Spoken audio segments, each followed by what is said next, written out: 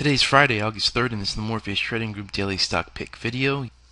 We're excited to release our new uh, Morpheus Trading Stock Screener, which is in beta mode, to the public this past week. And uh, this week we'll continue to show you how we locate setups on the long and short side in a relatively quick amount of time using this scanner.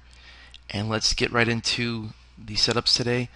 On the buy side, to uh, execute a a pullback scan or a breakout scan on the buy side, we simply click on stocks and make sure that the NYSE, NASDAQ, and Amex are checked.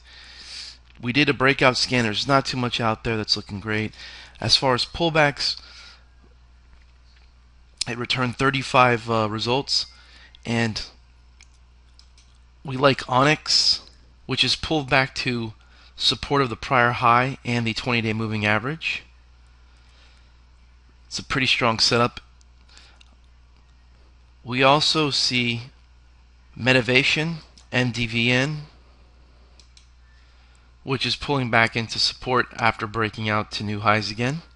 And we also have PHM Pulte Group, which is a home builder, which recently pulled back to the 20 day moving average after a false breakout. So there you have a few potential long setups for the day.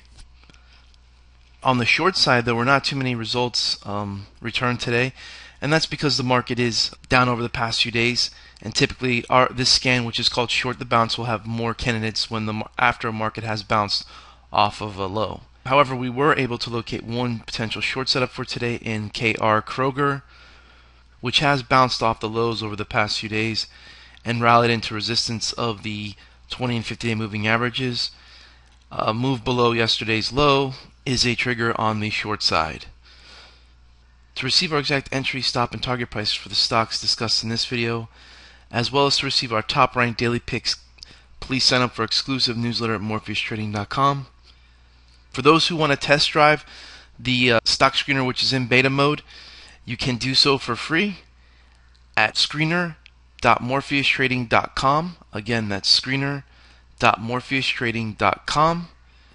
Thanks for joining us today. Good luck with your trading, and we'll see you again with the next Morpheus Trading Group Daily Stock Pick video.